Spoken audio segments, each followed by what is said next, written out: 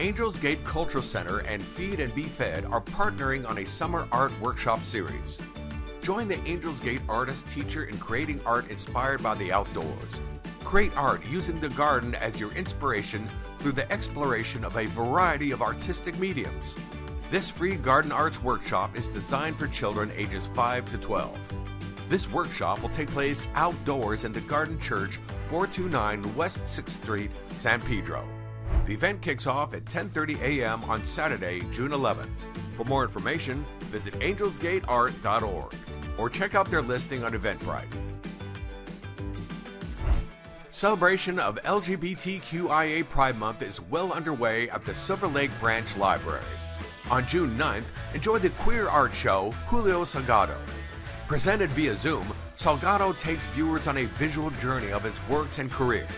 Salgado is the migrant storytelling manager for the Center for Cultural Power, an artist organization, and the co founder of the media platform Dreamers Adrift.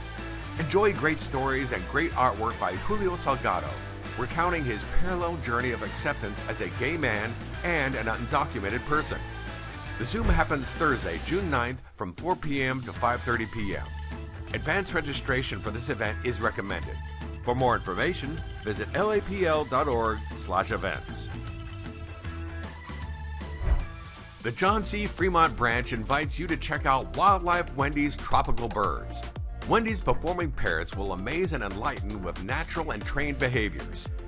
The 45 minute family program includes trick performing, free flight, talking, and singing birds.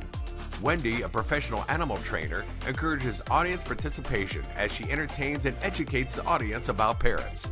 Wildlife Wendy's Tropical Birds Show comes to the John C. Fremont Branch Library on Saturday, June 11th from 10:30 a.m. to 11:15 a.m. For more information, visit lapl.org/events. And that's a look at some things to do.